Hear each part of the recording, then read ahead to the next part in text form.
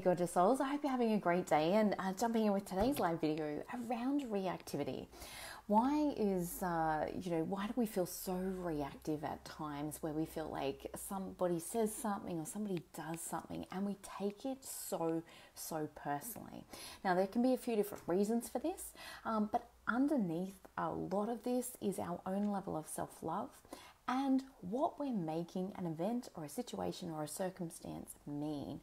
And the trickiest part about that is often we unconsciously are creating a meaning uh, around a certain situation where we're not even aware that we've made it mean that particular thing. That's honestly what's causing the reactivity. And it can be really challenging when we're going through these experiences to actually uh, be able to stop and to identify and to ask yourself, what am I making this mean? Why am I so upset?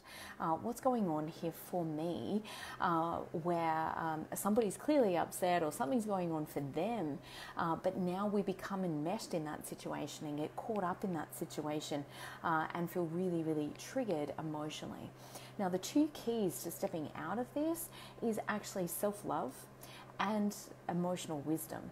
Emotional wisdom allows us to come back into a place where we're self regulating our emotions.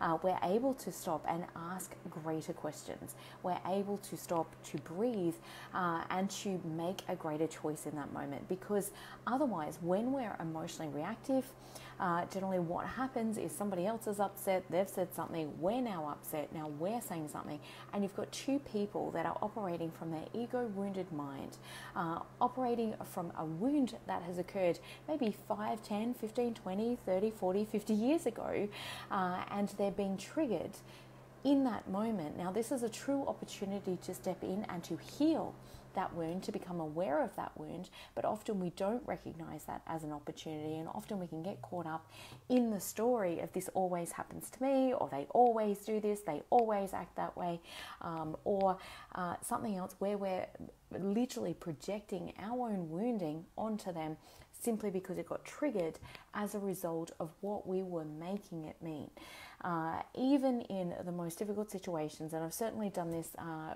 myself over the years. Hey, Erica, great to have you on here, Dom before I learned a lot of this stuff.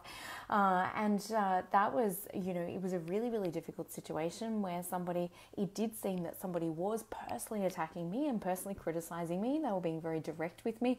Uh, and it was done over text message, which was really a very fascinating and interesting time for me in my life. I probably would have called it many other things um, back then.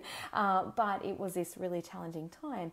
And I got to really understand what actually was going on at the deeper level. A, what was going on for that person, um, what needs they were trying to meet through that particular behavior, and what I was making it mean. And uh, when I was able to heal that within myself, uh, it had so much less impact on me than what it did uh, previous to that or prior to that when I really understood what I was making that mean and how I really felt about that rather than understanding this person is in a world of pain and they're operating from a place of revenge, meaning that if I hurt you, it makes me feel better. Now, for somebody to do that, they have to be so low in their own level of self love, uh, in their own level of uh, well being and alignment with themselves and connection with their heart center that they have to be in a place of pain.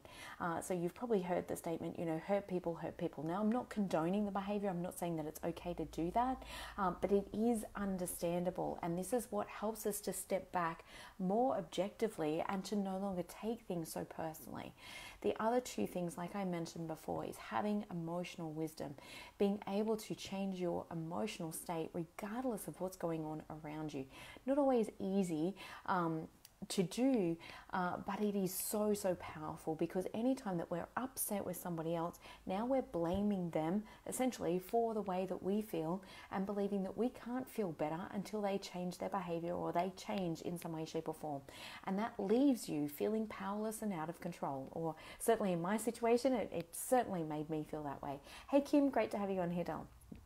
Um, so, by understanding emotional wisdom, how to recenter yourself, how to come back to yourself, and at the deeper level, how to love and value yourself and transform the old narrative or the old stories from the past that have us uh, feeling that we're not enough, that have us feeling that we're not lovable, um, or have us feeling that there's something wrong with us, or that it's always my fault, or any of those stories. I've had so many of those stories for myself over the years, and being able to transform those uh, stories helped me to become much more centered, to become much more responsible for my life, what I'm attracting into my life and into conversations, and also being able to work through situations, perhaps with an intimate partner or perhaps, um, you know, with other loved ones or other relationships, to really understand what's going on at the deeper level. Because often, like I mentioned, there's two people with totally different wounding believing that the argument or believing that the situation is about what's actually really going on in that moment when it is not. It is a trigger for a pain in the past that has not yet been healed. And like I mentioned, it is a true opportunity when you're feeling reactive to really take that time to step back and to a breathe, reground, recenter yourself, uh, but to look at what is actually really going on underneath. And if you're not sure how to do that, uh, reach out to me. Please send me a PM. Being able to be emotionally wise in these times, uh, particularly with everything that's going on in the world more than ever before, uh, is absolutely what is needed to heal your body, what is needed to feel better, what is needed in order to live a happy and successful life. And of course, success can be you know determined in so many ways and is a very personal thing as to what success personally means for you but in terms of feeling a really happy vibrant um, you know or feeling happy and living a very vibrant and energetic life uh, having emotional wisdom and a very strong solid grounding of self-love where you're able to not only internally validate yourself so recognizing your own magnificence your own awesomeness and also being able to see and embrace all the aspects of ourself, uh, what we would uh, call in everyday, uh, you know, uh, terminology of, of, the good and the bad within ourselves. When you embrace those parts of yourself, uh, it's really hard to take things personally because you know that about yourself, you accept that about yourself. That is wise, that is wisdom, and that is true self awareness and uh, we can become such a, a, greater solid platform then for others uh, when they're going through, you know, challenges and, and different situations. So having that emotional wisdom, having that ability to love ourselves also enables us, allows us to be able to receive feedback from others or to receive external validation. Um, but in a really balanced way where you're able to discern with a, a, a, beautiful filter of hey somebody's having a really bad day or somebody's having a really tough time. Um, I, you know what i'm not going to um, you know take that personally. Or hey, you know what, I did speak, you know, a little bit blunt or I was a little bit short with them, or um, yep, they've got a point there. And we can take that on board without it derailing our self esteem or without it derailing our sense of self um, or eroding uh, our sense of self love. So, all of those things are so, so important, not only uh, from a personal happiness perspective, but also for your soul evolution, for who you're becoming and how you're growing every single day as well. So, have an amazing rest of your day.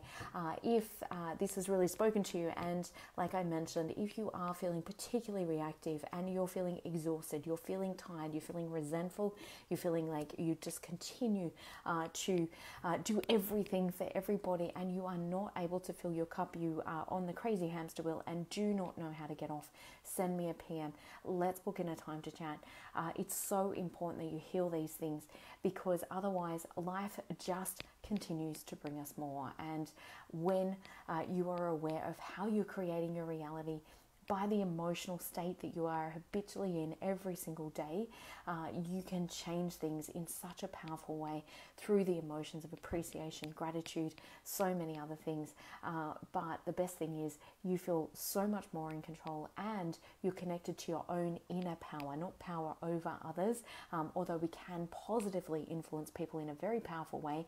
Uh, but it is so much more fulfilling to live a life from a place of feeling connected to your own inner power. So have an amazing day. Lots of love. Bye for now.